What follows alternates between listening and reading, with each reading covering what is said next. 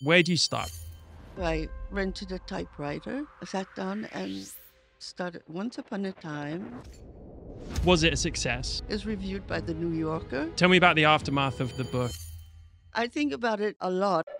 How do you go about staying creative? You need a certain amount of independence and quite a lot of ego. Don't ever say anything you've heard before. What about if people want to make a living? How do, how do people go and get published? First of all, Welcome to the Mood Podcast, where each week we bring you inspiring conversations with top artists and creative minds from various fields, exploring their personalities, their purposes, processes, and philosophies. Whether you're a seasoned photographer, an aspiring artist, or simply someone who loves to learn and be inspired, this podcast is for you. I'm your host, Matt Jacob, and thank you so much for joining me in today's conversation. Our guest today is Diana Darling, an acclaimed writer and artist from America, but who has been living in Bali for the last 40 or so years. Her novel, The Painted Alphabet, released in the 90s, is a beautiful blend of Balinese mythology and contemporary narrative, offering readers a vivid exploration of spirituality, morality, and the timeless battle between good and evil. We talk about the inspiration behind her novel and the process of translating her observations and experiences of Bali into a literary masterpiece. She explains the timeless impact of the story's themes, including spirituality, moral dilemmas, and the battle between good and evil, and how she was able to express such moralities that are more relevant than ever today. Diana also shares her unique perspective on spirituality and death, influenced by her Western heritage and her extensive life in Asia. She reflects on the profound changes she has witnessed on this beautiful island over the decades she has been here, and how these transformations have impacted her philosophies, creativity, and art. We explore her academic background, including her time at the School of Fine Arts in Paris and the New York School of Social Research in New York, and discuss how these experiences have shaped her literary work and storytelling approach. Throughout our conversation, Diana provides really valuable insights into her writing techniques, her pre writing and drafting processes, and how she approaches revisions. We also discuss the importance of community and collaboration, with Diana sharing how her work with local and international artists and writers has influenced her creative process. Additionally, she offers practical advice for staying curious and creative balancing discipline and spontaneity, and fostering an environment that nurtures creativity. Her expertise in editing and branding is also covered, providing artists with key principles for effectively communicating their unique style and vision through their marketing texts. This episode is packed with rich wisdom, practical advice, and inspiring stories from Diana Darling's remarkable journey. I hope you enjoy.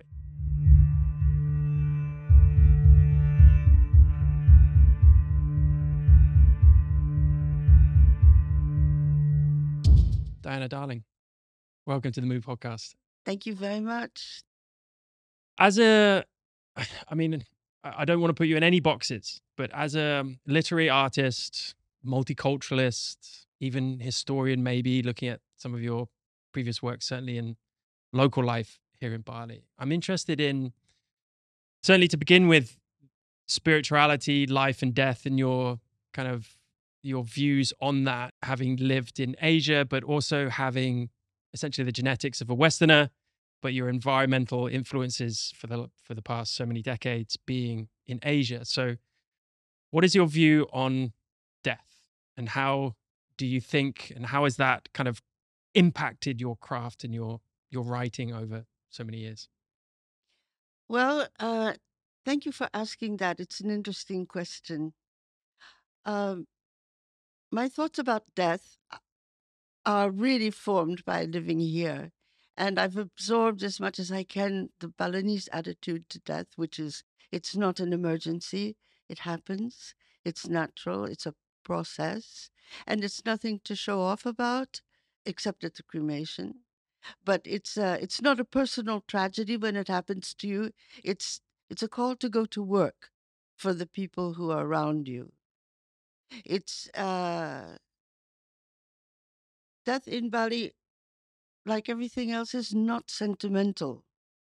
And this is the biggest lesson, I think, uh, from the Balinese that I've learned. This, the sentimentality around natural processes is just, um, it's a construction from my own Western culture. It's, it's not a fact of life. So that I don't know what happens when people die. Uh, I know that we probably won't see them again.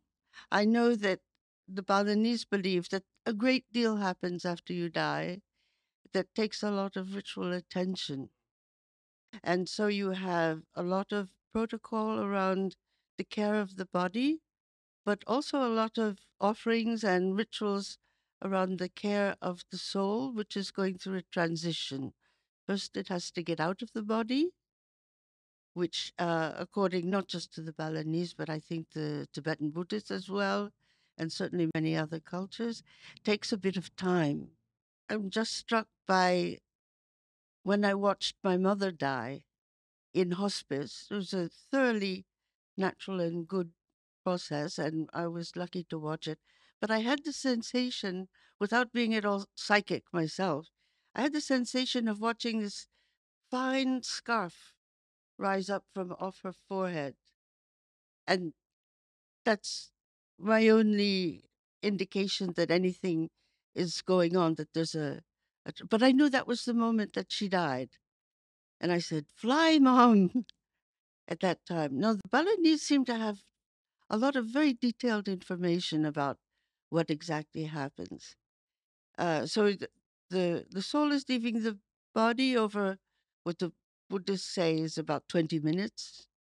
And the Balinese want to they want to uh, assure a transition back to the essential elements of uh, water, air, fire, earth, and ether, whatever that is. So this all takes a lot of ritual supervision or help. Um, and then there's the journey of the the surviving soul, the Atman, uh, onto a series of processes of purification, um, a kind of purgatory apparently under the sea, and then calling the soul back up from the sea. This is after cremation, calling it back again and escorting it up to uh, the temples in Besakih, where it joins with the rest of the ancestors that may or may not incarnate into your family. And then some of it comes back into the family compound and is buried under a shrine. And that's where you worship your ancestors or your recently dead. So now, how much of that uh, I can take on, I don't know. I, I won't know until uh, I die, or perhaps until my husband dies, and I go through this process more intimately. Um,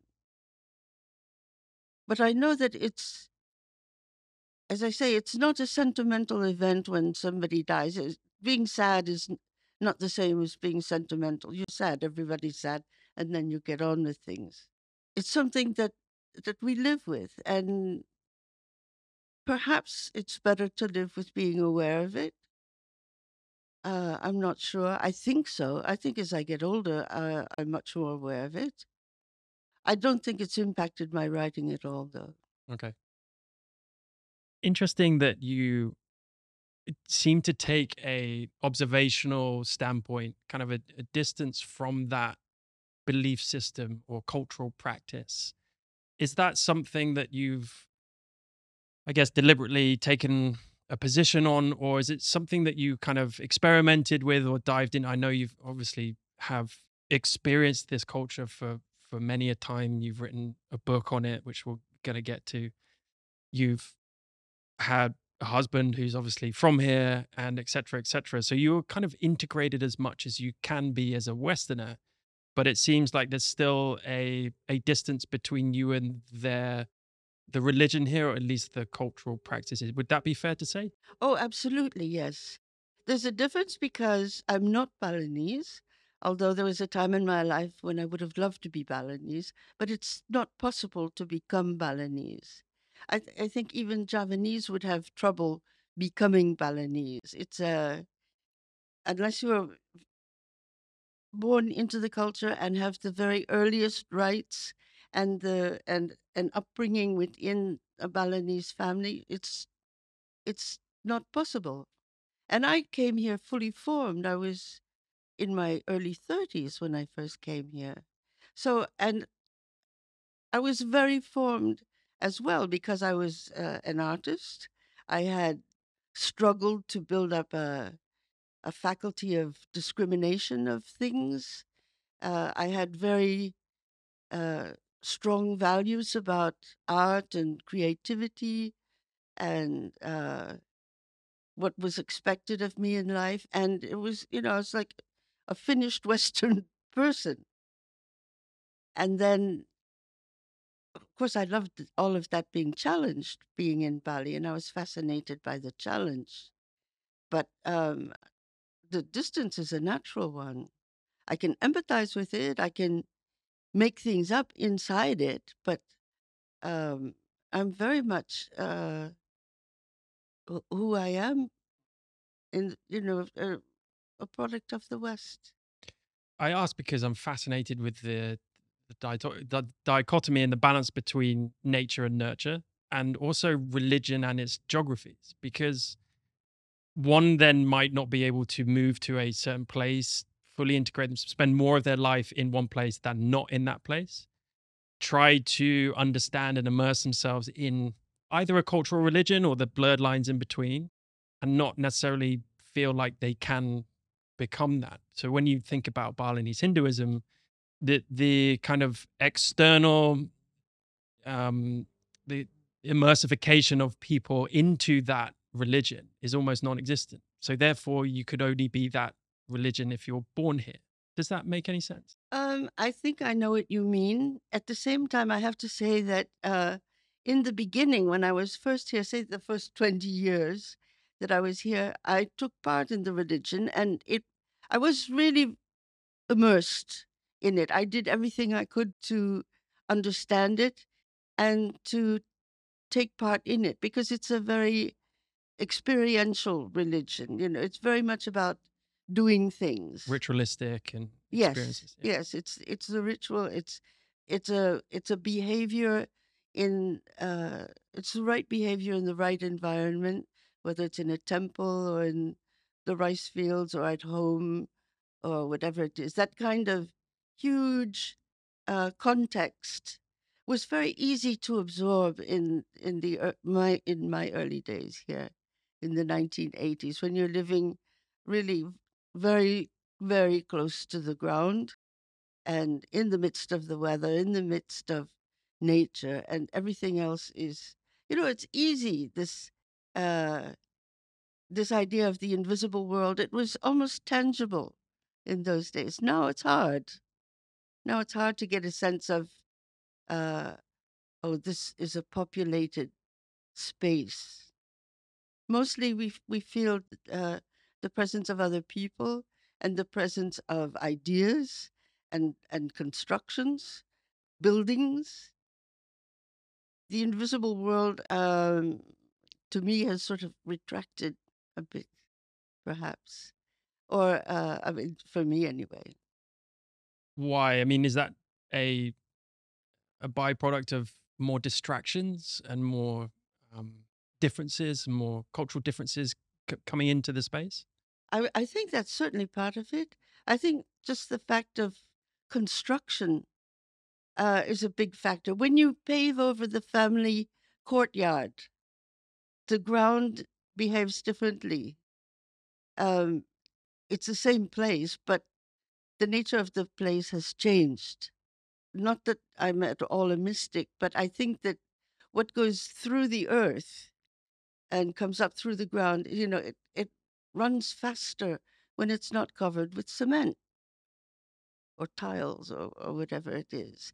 When you take down big trees, um, whatever has been in, inhabiting that tree moves. It can be bugs, it can be birds, it can be ghosts. Uh, and so the place changes.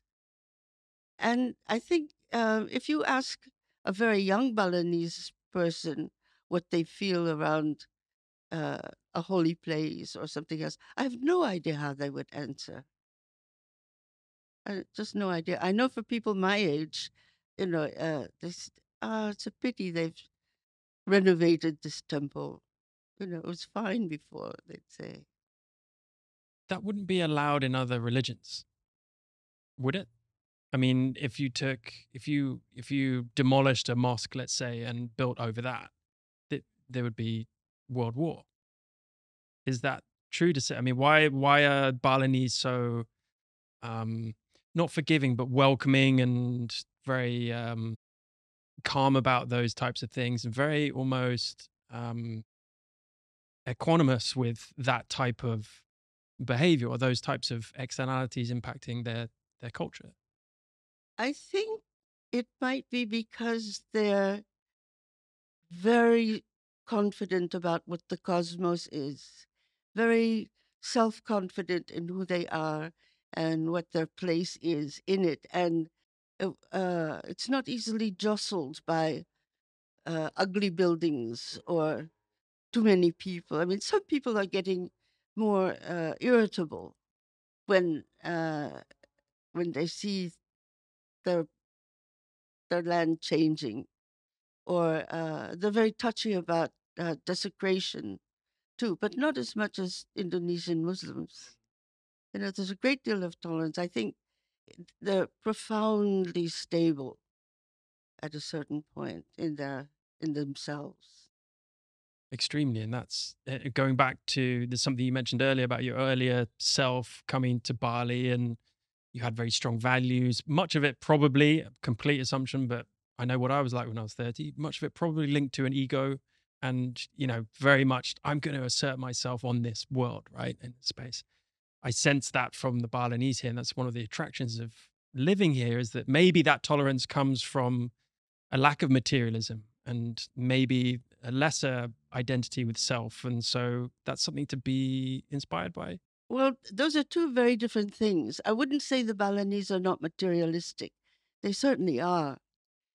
But um, having a sense of, I think their sense of self is a lot more diffuse than ours is. Ours is restricted to the ego, um, possibly a bit left over for family, country, tribe, whatever that is.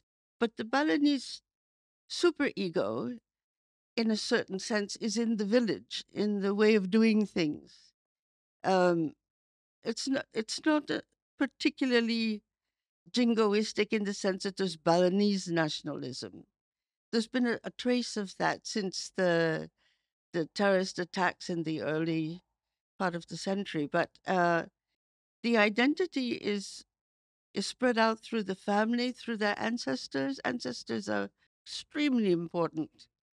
Yeah, um, the larger family, the village, the Banjar uh, community, um, a way of doing things. There's a there's a sense of Balinese identity in that they distinguish themselves from other Indonesians. They they're aware the, of the fact that there's a Balinese way of doing things that's different, and they think it's excellent.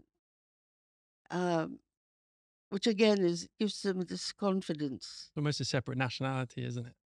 Yeah, it's a it's a separate ethnos. Yeah, that's a better word for it. If you can put it that way, yeah. Tell me about your early days as an artist. I know you went to school at the the I- I'm not going to pronounce the French in Paris at the School of Fine Arts. Oh, let's say. What did you study there, and how did you get into art, and what did you bring to Bali in those early days as an artist? Well, I was uh, a sculptor when I came here, and um, that began. I was in the theater before when I lived in New York. I wanted to be an actress, and I went to Europe on a short holiday, maybe two months, and uh, I was in London for a long time because I wanted to go to the theater. I thought theater in London is going to be better than theater in New York. And then in my last week, I went to Paris. It was springtime. it was a totally magical time for me. Uh, and I happened to see a piece of sculpture in someone's studio. the artist wasn't there. It was a uh, this is a, the work of Ipoustéguy, which was in marble. It, it was a, a, a kind of a lying figure called the Death of the Mother, and it was it struck me like a piece of Beethoven's music. It's really what it evoked the this the figurative expressionism, I suppose you'd call it. But it was the impact was enormous, and I said, "That's what I want to do." So I went back to New York, said goodbye to my mother, and moved to Europe. And I uh, went to Carrara to learn to carve the marble. And after three years there, I went up to, I learned to carve the marble. After three years there, I went to Paris to draw because that was the example of uh, this Ipoustéguy that there were a handful of young sculptors that he sort of mentored. And that was the example he gave to us in his own practice. You go somewhere, you draw for a year or two. Right. So I was at the Beaux Arts, which is the art school in Paris, and I went to, um, I was in a, a master class for sculpture where we just modeled in clay from a live model. And I went to drawing classes. And this was just all to develop what you need to know if, if you're a sculptor, especially uh, anything figurative at all. My work was um, also a kind of figurative expressionism.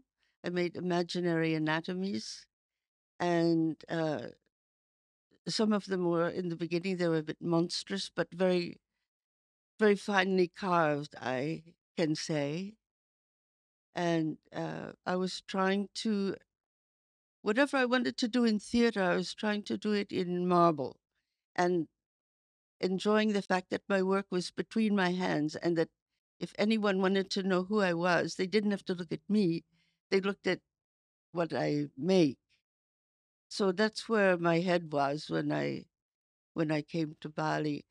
Uh, I was coming from Europe, from a very mature art scene there, uh, to a place that had no art scene. The art in Bali in those days was religious Mm. Dances. dances. Uh, the statues were either sitting in a little temple or guarding a gateway or a pathway. And I tried making some sculpture like that too, just sort of for fun. But um, it was the the religion here, which was everything, that was interesting to me. Not certainly not the sculpture, you know. And there was, as I say, there was no art scene at all, like anything I was accustomed to. So I just put it behind Right. me Okay. and uh, and I read and read and read everything I could about Bali, and eventually began to write about it. And had you had any training in writing, or you just kind of learned by no, yourself? No, I had good teachers, Okay. and uh, I'd read a lot, and I was I've always been a good reader. And so how I, I noticed actually on page one of the painted alphabet you said for for my teachers. Right. So where where were you taught were you taught here and what kind of teaching did you have for writing? Well, I've had teachers, wonderful teachers, all through my life. I had wonderful teachers in school. Um, I had teacher figures in my life. Um, I suppose I was also thinking of the old priest in our village who was uh, something of a teacher. He was actually a drinking mate. um, and then there was our landlord, who is the son of the famous Balinese painter I Gusti Nyoman Lempad, who uh, Lempad had already died of old age by the time I came to Bali. And his son was already an old man too. And he was a great friend to my first husband, who was Australian, John Darling. And uh, John just soaked up anything this man said. And so did I, because uh, so th- he had someone to talk to, to, to puff up his ideas, to to think out loud with. So it, it was very much a learning experience, all of this. And I thought, I could live here forever because I couldn't possibly learn everything about it. You know, if one day I get bored, I'll I'll take up uh, the Balinese language, which is impossible to learn. and I feel like that as well. I mean, we've only been here a couple of years, but uh, I feel like there's an endless amount to learn, endless amount to kind of dive into and just, get get your head around. It seems to be layer upon layer upon layer. Language is a huge part, obviously, with so many languages in Indonesia generally and dialects here in Bali. So um, yeah, I feel feel that definitely. Tell me about the lead up to arguably your seminal moment in terms of the painted alphabet and your your first novel. Tell me about the process in writing that. Before we start talking about the book, what was the process like? What kind of was it a conscious decision? Right, I'm going to write a novel, or were you? Did you find yourself in an environment where oh, I, I feel like I can write something here? Well, the first uh, my encounter with this story came when I was reading about Rangda Mm-hmm. basically, and the story that was always performed in the temples uh, in in my time was Calonarang. Mhm. But there was another story. Uh, there were several other stories that used to be performed that lead up to the this confrontation between Rangda and the Barong, this so-called confrontation of good and evil, wh- which it isn't. Um, and I was reading about those other stories when I came across uh, a synopsis of the story of Dukuh Siladri. And there were two things in it that really piqued my fancy. Uh, one was the talking animals, and the other was a scene where uh, this junior witch goes down to the river and uh, takes a bath, and she finishes and puts her clothes back on, and then she hears a man coming. So she takes all her clothes off again. so I thought that was great. And I and I thought I said to my husband, shouldn't we uh shouldn't we try to sponsor a performance of this? Because it used to be performed as an arja, which is the Balinese opera form, where they sing the poetry, right? And uh, so we we organized a performance for a temple festival near us in our village, and it wasn't at all what I hoped it would be as as a theatrical experience. I thought there'd be rehearsals and they'd make costumes for the animals and all this. I had no idea. Uh, it was just another Arja performance, and be- an hour before they started, the Arja master came out and told the troupe, "Okay, now this is the story tonight." and this is what happens, and you play this, and you play this. Oh, It was so formulaic. wow. So I thought, oh my gosh, I'll just write it uh, for my own pleasure, uh, you know, to see what I can get out of this, out of this synopsis, to see what I can get out of the story. So over the next few years, um, my husband John and I uh, would ask old people when we met them if they knew the Dukuh Siladri story, and they'd all laugh and they'd sing a little bit of it, and then they would tell the story. So I began collecting these versions of the story. And then when our marriage broke up, uh, I happened to be in Australia, in Sydney, waiting for him to take his stuff off my stuff in storage. And I had two weeks to wait, two weeks to fill in, and I was very anxious to to be at work. I was going to go on to the foundry in Melbourne to make some sculpture, but I really wanted to make something in during those two weeks. So I d- decided this is a good time to start that novel.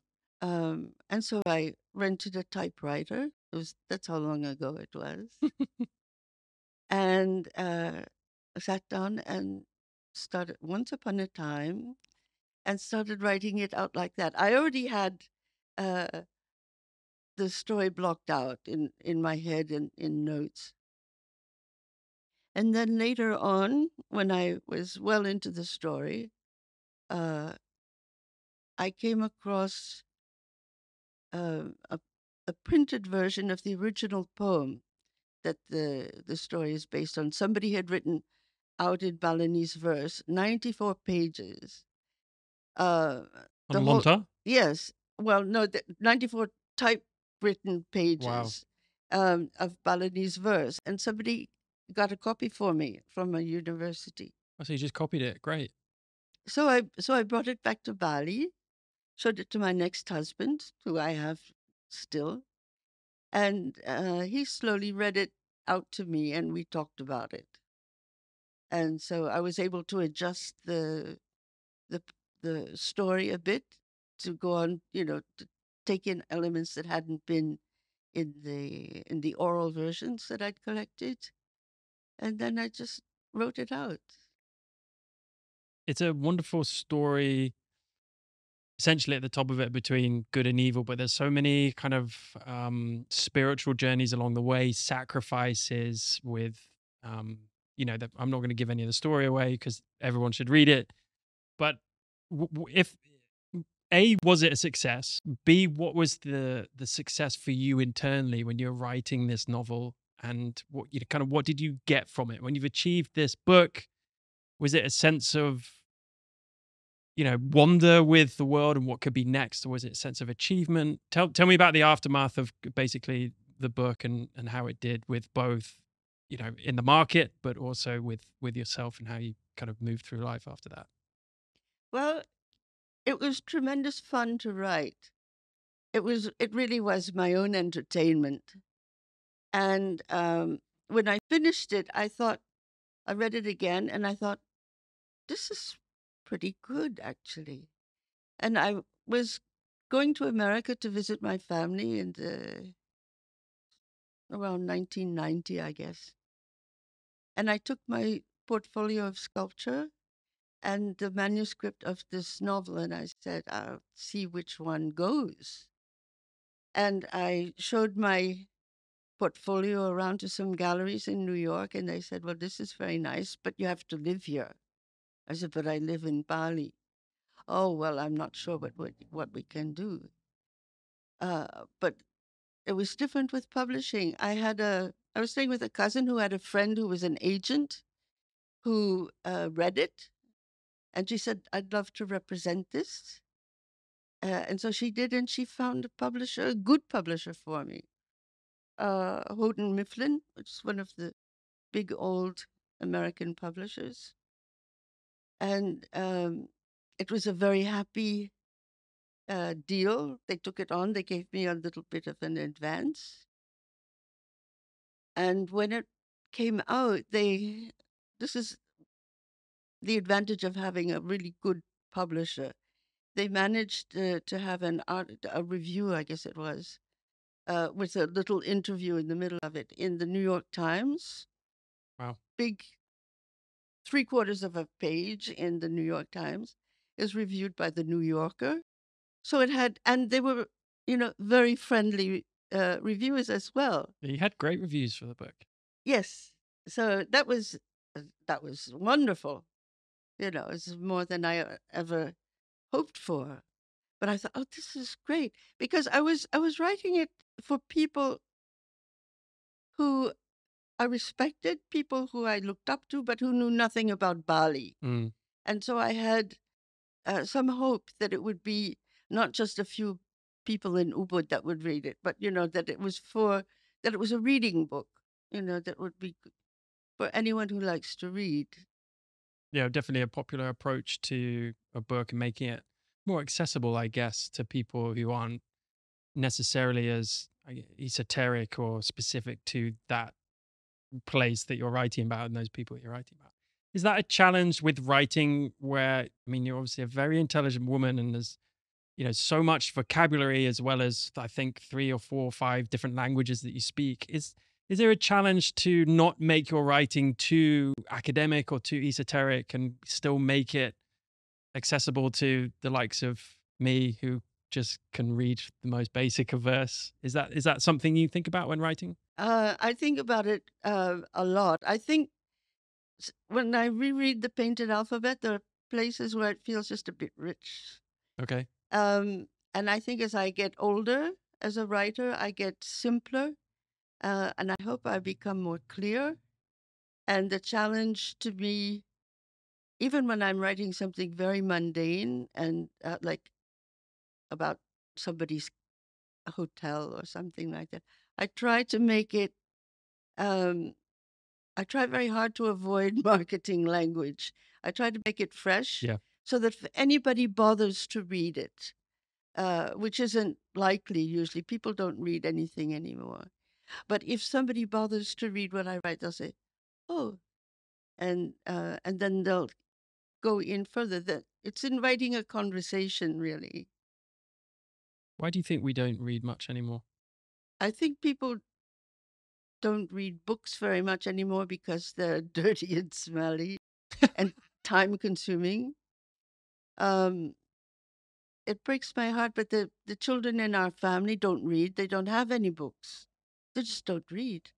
When they want to, re- when the teenager wants to read something, he borrows something from us. But uh, the parents don't read to them. Um, it's a it's a different culture now. It's an electronic culture.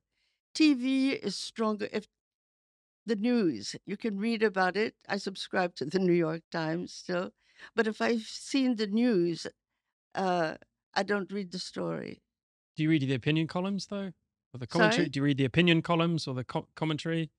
You know, non-factual news, more like thoughts and opinions in, in Often, those type. Yeah, often, yeah, yeah. But um, but I still I'm I'm still a reader. yeah. But I think that um, it's a generational thing mainly. Yeah, I think digitized world has to has a lot to answer for for that. Um, you know, whether and we were talking about audiobooks before we came came on on on air, weren't we? And I'm more of a I mean, I read read books, but 90% of reading is I I listen to. So I Mm. listen to something all the time.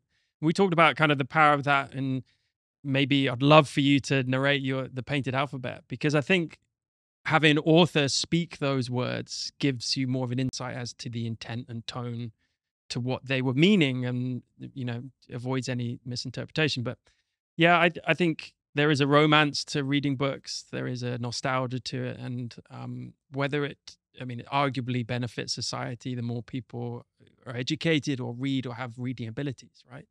Um because it's sparks curiosity. It sparks um the desire to to see someone else's opinion it sparks conversation. There's so many benefits to it isn't it? But um i don't know. I don't know where where it goes from here. We'll have ai reading to us before before too long. Or not. or not. Yeah. um tell us about the writing process. You know i want to kind of appeal to um to to to wannabe writers out there and me being one of them i i really enjoy the writing process. I do some newsletters every week and just general copy stuff for whether it's my photography stuff or this podcast. I really enjoy it. I don't I, it's very intangible. I can't it can't really put my finger on where that satisfaction comes from but i'd love to know what your process is when you you know maybe you get a new job or you you think of something you want to write for yourself how do you go about doing that where you know where do you start blank canvas what's the process For me, it begins with hearing the first sentence in my head. And I'll wait around for that, uh, walk around, do something, um, sit around, look at out the window, whatever. When I have the first sentence, that's my keyhole. So you have a concept already or have been given a concept and then you are essentially waiting for yourself to come up with that first sentence Yeah. okay interesting yeah. and then that's it you're off Well, sometimes. And if it if that's not enough, if I'm still like digging around, I'll write with a pencil, with a mechanical pencil on a big uh, folio size piece of paper, a kind of clipboard. okay I write in pencil, and then once I have a, a bit of a body to it, then I transcribe it to the computer, editing as I go, and then then I'll keep going. I I tend to sort of like a painter I knew once. He started in the upper left hand corner of a canvas, and he painted across and was, until he got down to the bottom. Then he signed it, and he was finished. So I, I write a bit like that, you know, like start at the beginning and and go through building as and I edit go. as edit as you go as well I do a lot of editing. Yeah. Yeah.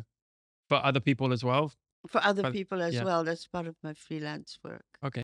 And tell us about that a little bit. I mean, how do you edit without putting your own spin on it? Or, you know, I've, I've never done editing, obviously, and I'm, I'm interested to hear more about what that actually involves and, and what the process of that is. Well, uh, most of my experience editing has been with uh, the Lontar Foundation, which is a publisher in Jakarta of English translations of Indonesian literature.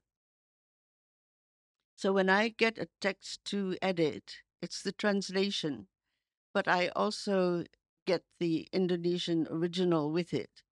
And I'll begin going through the text. And if I run into something where uh, it's not clear uh, what's meant, I refer to the original and I might retranslate it uh, to make it clearer. That's um, an advantage. You had asked about multilingualism in, in my work.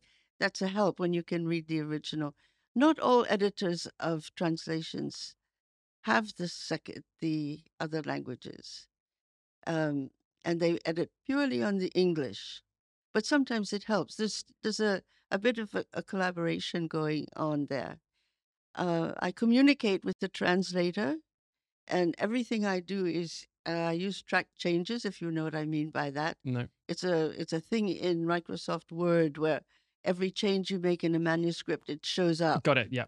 Those. and you can also make comments and Mhm. things like that so that's a kind of conversation i'm having with the the translator but the idea uh, i think that what my job is as a as an editor of a translated text is to make the english as strong and clear as possible and that's not necessarily the job of the translator.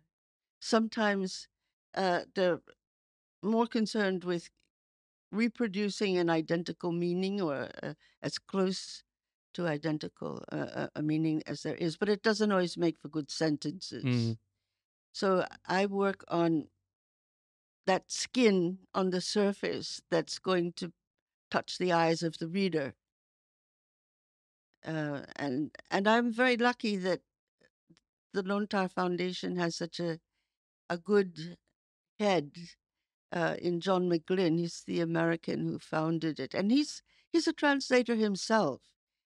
But um, somehow he realizes that his own English isn't the very best on earth either, and he uh, turns it over to an editor to deal with that to to make um, a correct translation into literary English because these are mostly works of fiction. They're literary works, and so they they need just that last bit of work. So, from the technical side of editing and writing, how do you go about staying creative? And or how do, how would you advise people like me and other artists who who want to spur creativity in their life and curiosity? And how do you kind of go through life? I guess maintaining a level of curiosity and inspiration. Do you pick from sources, or do you is it endemic to kind of you and your your environment? I think um, I think what it takes. uh, Virginia Woolf had thoughts about this. Uh, she said, uh, for a woman to write, uh, she needs money and a room of her own. But I think this is true of uh, men as well. You need a certain amount of independence and uh, quite a lot of ego. And since we moved to Ubud and are living in the family compound, there's not really room for ego when you're living closely with a lot of people. And um, I haven't been writing fiction really since then.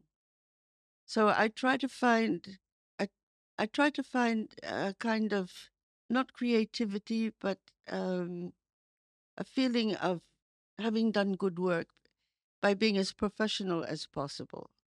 And you can bring a certain amount of creativity to copywriting um, or editing. It's it depends on how hard you push. I think that's what it is. I think you if, when you uh, want to do your very, very best. That's similar to being creative. Is that what you mean by needing an ego? Where, where does the ego fit into that?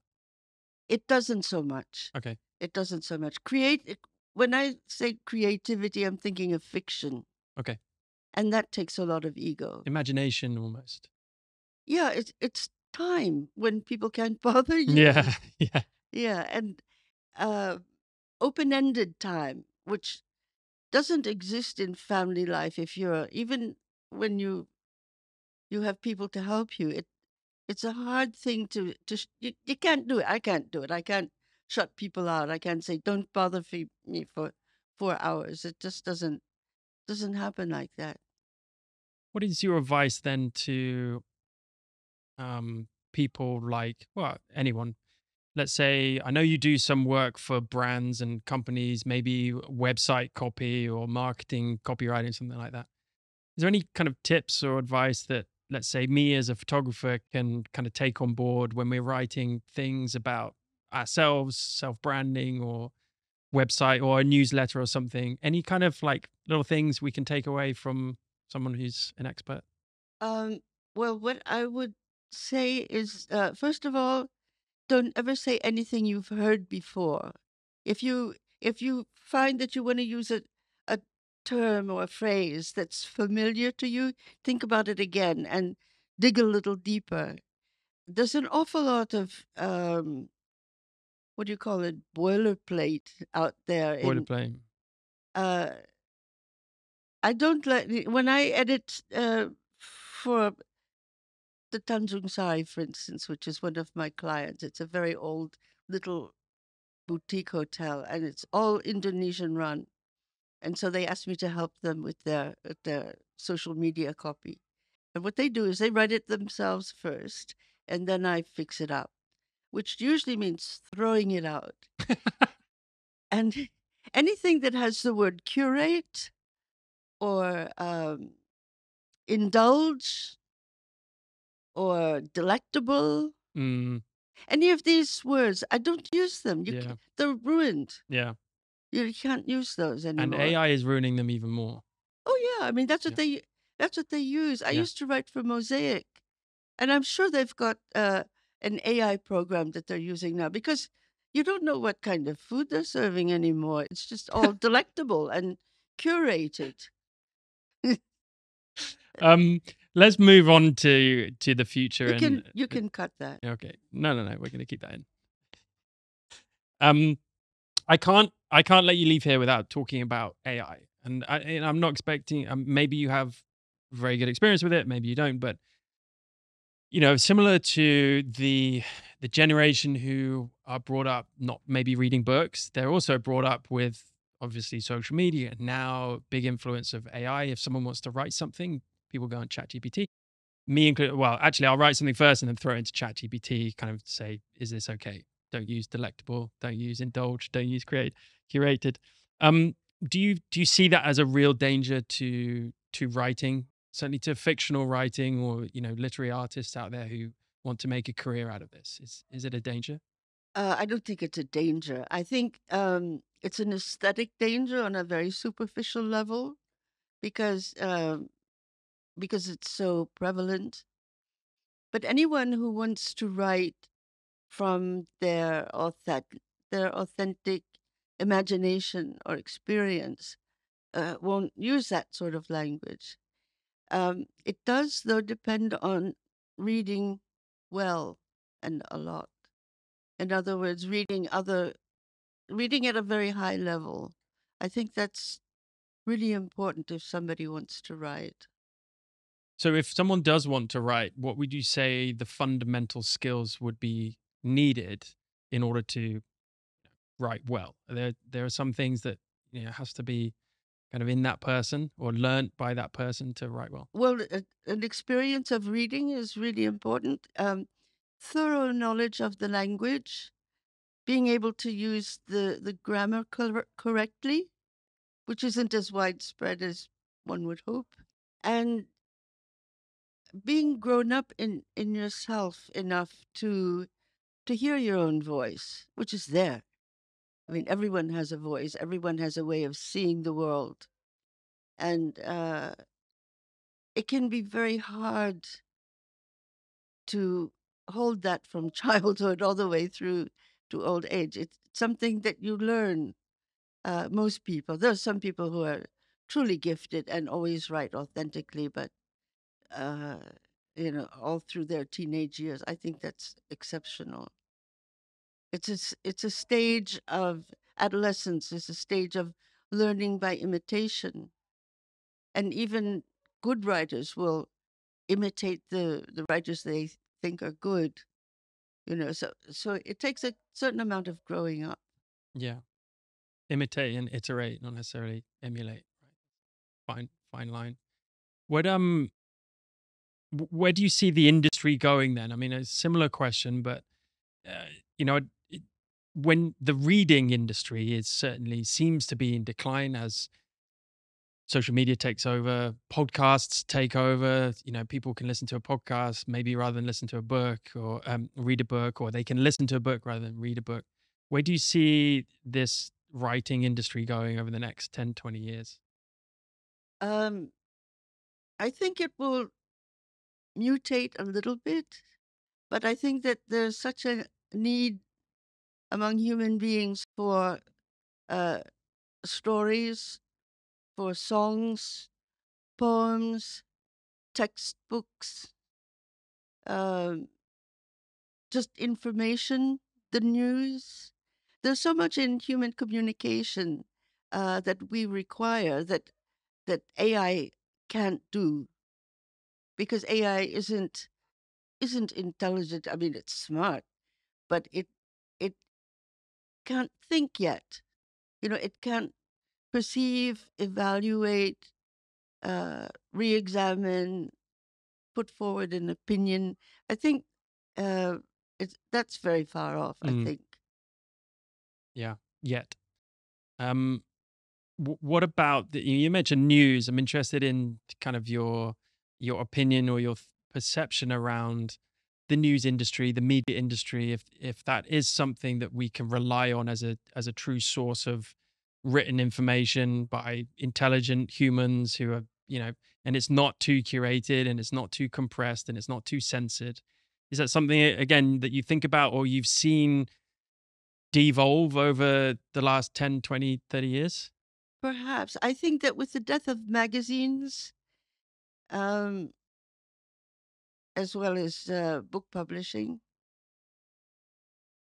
it's harder for for people to keep up uh, educated opinion. I, as far as news goes, um, as a consumer of news, I think you want to read more widely than you used to be able to. Like I used to subscribe to The Economist, uh, and that was my main news source. I wouldn't depend on it anymore. Now I, I have to get my news from a number of other sources because certainly in America, but perhaps everywhere, uh, the news is it's moldable, it's malleable, and it's susceptible to to other interests. So you have to be uh, you have to be wide read in the news if you want to be well informed. I think that can include social media, that or or traditional media that's published on social media. It can be journals that used to be in print and are now online. It could be the some of the great newspapers, uh, local newspapers.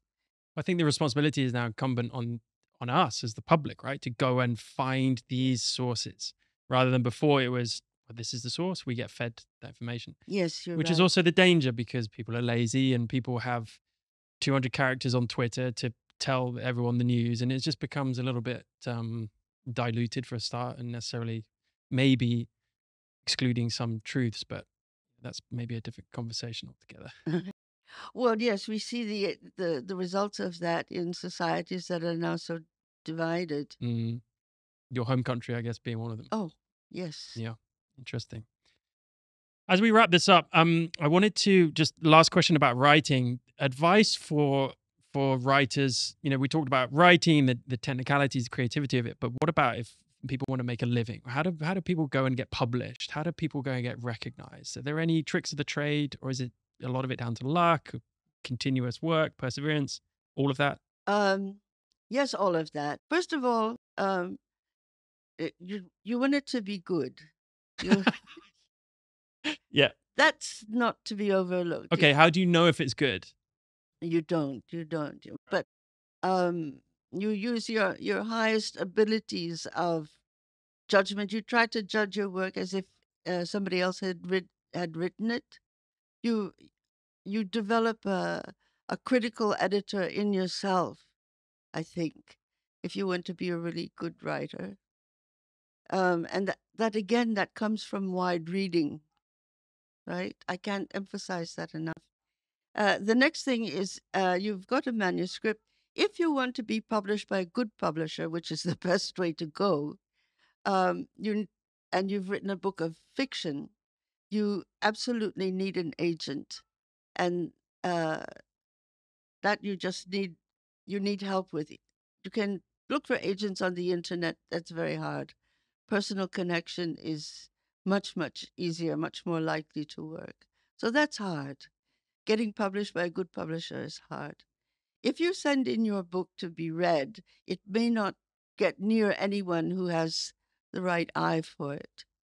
So again, luck is part of this. If you self-publish, um, there are uh, there are ways of getting your your book distributed, but fortunately, I haven't had to go that route, and I don't know a great deal about it but I know that there's a lot online about it. Getting your book recognized, if if you're with a good publisher, they'll take care of that. Um, if you're self-published or with a very small publisher, then um, you try to get it reviewed in a place where the sort of reader you're trying to reach is likely to read about it. Right. Um, and there are literary festivals which I think can also help writers a lot. Although reading and writing are solitary activities, and literary workshop, uh, what do you call it, uh, festivals, are very much talking places. So if you're not a good speaker, you might not do well at, a- at a literary festival. Some very good writers can't talk at all, unfortunately. So I mean, it's um, it's not a perfect venue for for promoting a book, but it can help a lot. Well, you're certainly a good talker. It's been an absolute pleasure to listen to you. Thank you so much for for coming down here and and spending time with us. It's um it's an honor to have you, and I really want to invite you to um narrate your book, Painted Alphabet, for us, just to put it in audiobook. I know a lot of people would would love that. So you can come and use the studio anytime. Wonderful. And um, yeah, if as long as you narrate the book for us.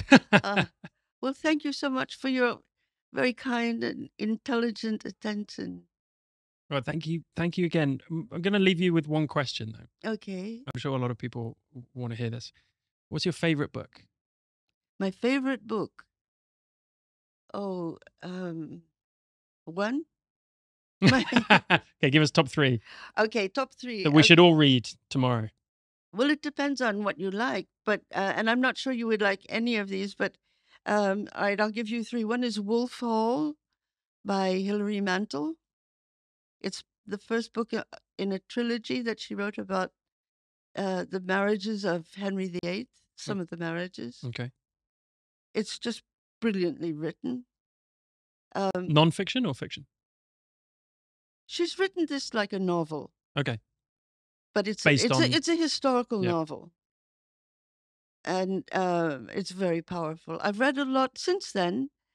I, I've read the whole trilogy twice, and I admire her so much that I'm reading her early books now, and they're not nearly as good. It's interesting to see how she grew, how she grew into this tremendous stature Yeah. to be able to write. No one really just makes it straight away, do they? I mean. very, very, very few people actually like get a hit with their first attempt at anything. No, it's uh, it's it's amazing. Um, another book that I love uh, is called A Paragon, A P E I R A G O N, a paragon. Oh, it's a a Greek word. Okay. Uh, now that's written by an Irishman about. This is a this reads like a novel, but it's a true story. Uh, it's a it's a the revelation of a true story of two men. Um, one is Israeli, one is Palestinian, and both of them had young daughters that were murdered by the other side. They're quite topical for today. Yes, and they become friends. It's an incredibly moving uh, story, and also so wonderfully told. And the author's name? Um, I'll send it to you. Um, and then the third book would be um, something I read about 60 years ago called As I Lay Dying by w- William Faulkner. It's a very short book, uh, but it was written from the point of view of um, a woman who's dying and her different children. It's just very wonderful as an object. It's like a little jewel. Great. Okay. Well, we're going to check those out for sure. Thank you so much again. Thank Hopefully, we'll have you in here another time, hopefully narrating the painted alphabet. But until then, thank you so much. Thank you so much, Matt. Thank you.